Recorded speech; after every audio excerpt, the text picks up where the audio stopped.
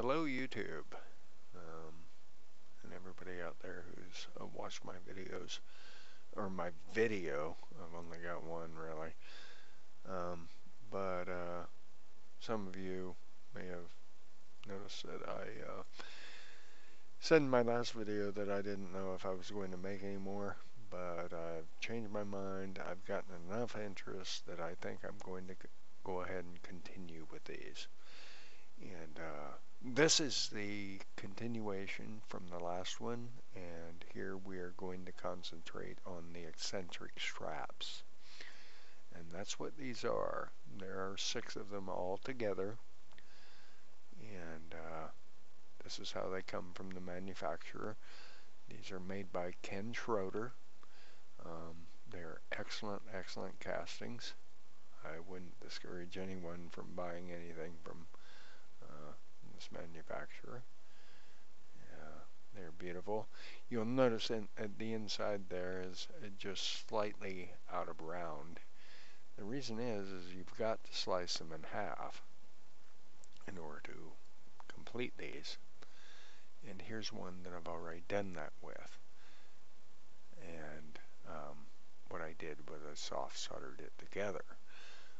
After I sliced it in half on my bandsaw, I machined these surfaces perfectly smooth and then soft soldered it together so it could be mounted in my tooling.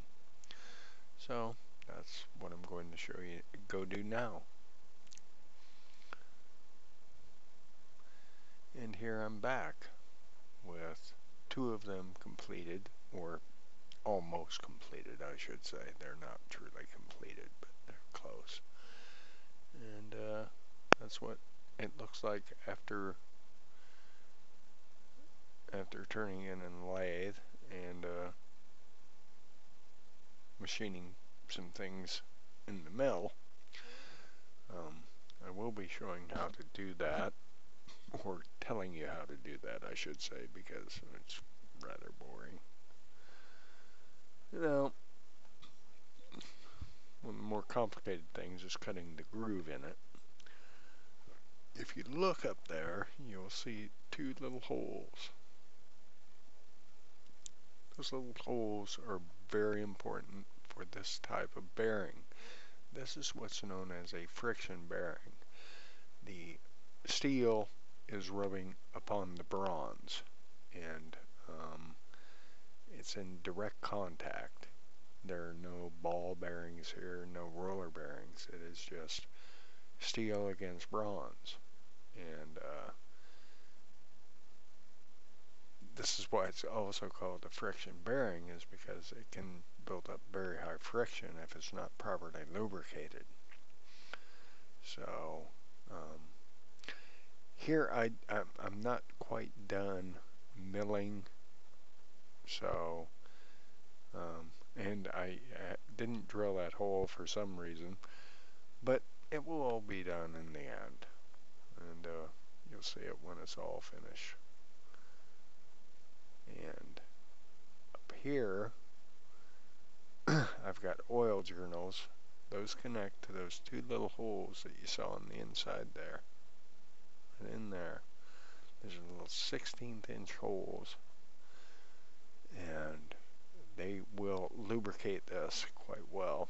Um, I did deviate a little bit on the both of these in that I made the top halves an eighth inch. so uh, my theory being more oil and uh, more lubrication the better on a friction bearing so that's uh, how I've done all of these.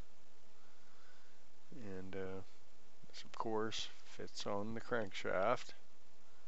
And that's pretty close to where its home will be. Not quite. no adjustment yet, of course. So let me go finish the rest of these. And uh, then I'll uh, Well, maybe before that, maybe I should tell you about how uh, um, the processes I went through to make these, or to make these two. let me take it, take it apart and show you what they look like first. And uh, as you can see, the bronze is very slippery against, very slippery.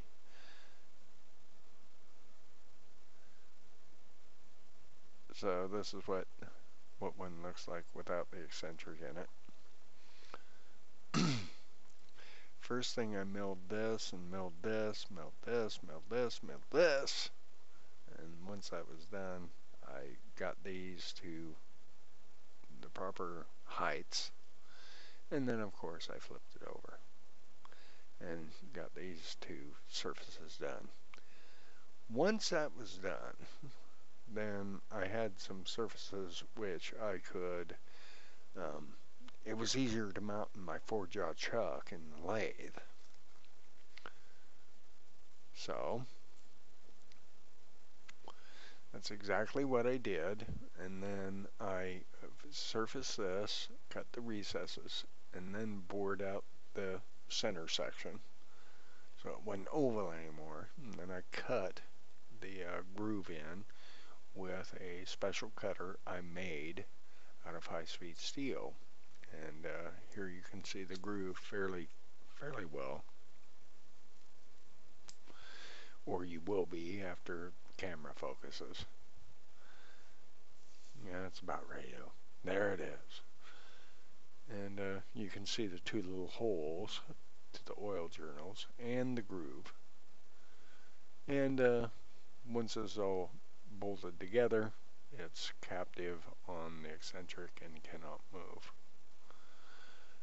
Hi, and then I drilled these holes, and those I should have completed drilling, but didn't quite. Don't know why I didn't finish that one. But these holes then I drilled out to a larger size um, before tapping the bottom holes. These are, uh, I, I drilled those to clearance and I drilled these to tapping size. And then uh, before unsoldering tapped the bottom parts and then drilled those out. So that's how I did that it's a uh, it, it's really a simple simple sort of piece to make um, all of them are and uh, here I've got them all done and totally completed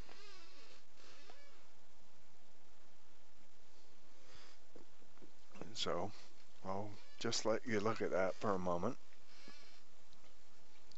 Let's get in a little closer though.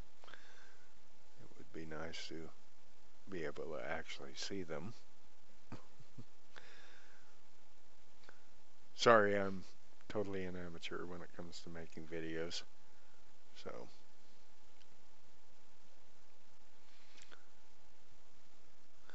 you can see that I've milled that uh, part out of them that is to accept, accept the eccentric blade.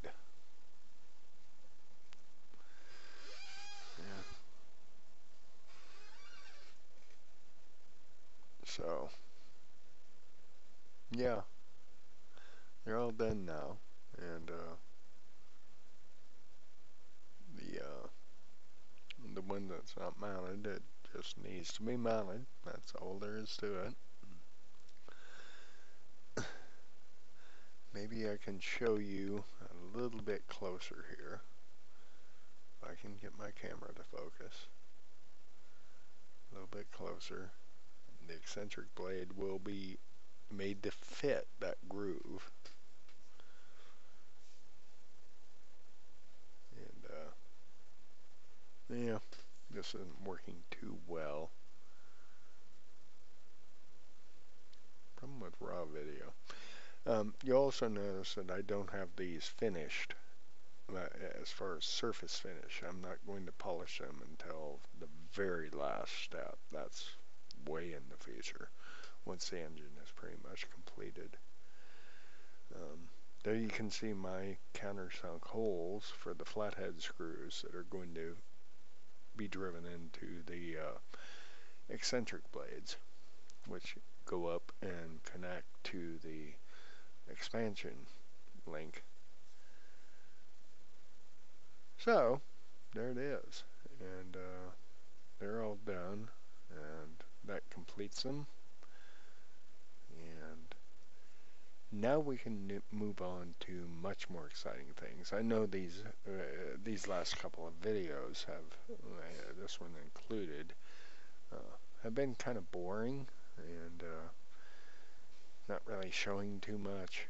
But this next one is going to be much more, much more exciting because I'll actually show some milling because it's a very different part that I'm going to be working on. Um, those of you who are beginning machinists um, may say, where do we start with this? But this is the next part.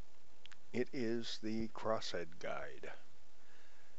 This is a, a somewhat complex thing to make. It looks simple, and it, know, a lot of ways it is simple, but it's also quite complex. You can see I've got some screws already mounted in it, but this hole has to be bored, and uh, there's a lot of lot of uh, little stuff, and I'll show that to you. Um, but what we start with, this is how this part started out, is as a rough casting like this. Um, really nothing done to it. Now I did mill this surface flat already, which uh, is to allow it to be able to sit flat because the next part is to mill off the top. And uh, well it is what it is. So that is um, where we're going to start in the next video I think. And uh, but I appreciate you giving me some views. And uh, we'll see what you think of this when, once we start on this one.